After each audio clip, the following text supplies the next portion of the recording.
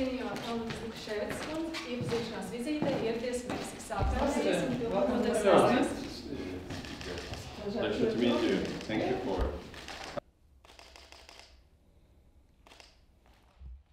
Our countries have very good uh, relations and uh, Mm-hmm. we are looking forward to even strengthen them. And I'm uh, sure that uh, also during your time as ambassador to Latvia, we will have opportunities to develop uh, more political relations, including also uh, economic uh, and trade relations, and that's something that we are very much looking forward.